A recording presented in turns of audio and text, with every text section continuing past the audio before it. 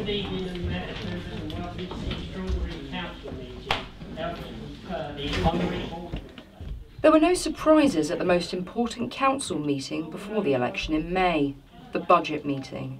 The Conservative led council set out its spending plans for the 2015 16 year. It was agreed that, for the fifth year in a row, council tax would not rise. And if repetition of our core messages are efficiency and holding down council tax uh, are a little repetitive, well, so be it.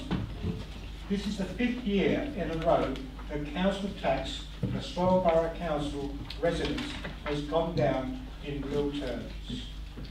It is a record that we can be proud of.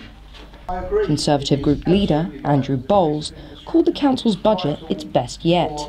One of the issues addressed during the evening was the plan to spend £100 million on improving the congestion hit Stockbury roundabout, which joins the A249 to the M2. I believe it wants delivering as soon as possible, and I'm sure whoever sits in this seat after the 7th, 8th of May will, will continue to press for that.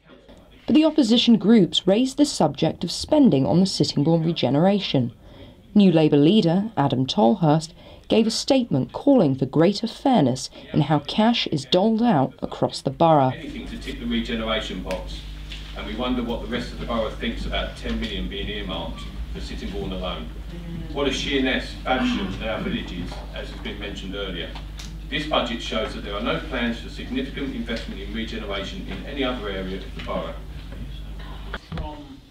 Tensions did rise at various points in the evening, though, with the opposition camps accusing the Conservatives of ignoring key issues such as housing and borrowing. further, let's remember that, a further six million pounds of borrowing. That's £10 million altogether. The Cabinet Member for Finance said at the Cabinet meeting on the fourth of February, there is no detailed information at present of what it is for. One presume that we will be getting the thirty percent social housing, so we'll have sixty of those two hundred will be social housing? Um, that is a question. Very quick, very easy question actually, yes or no? The Conservatives also took aim at Labour's record on the economy. But the point of the evening was achieved with just over two months to go to the election. The budget is balanced.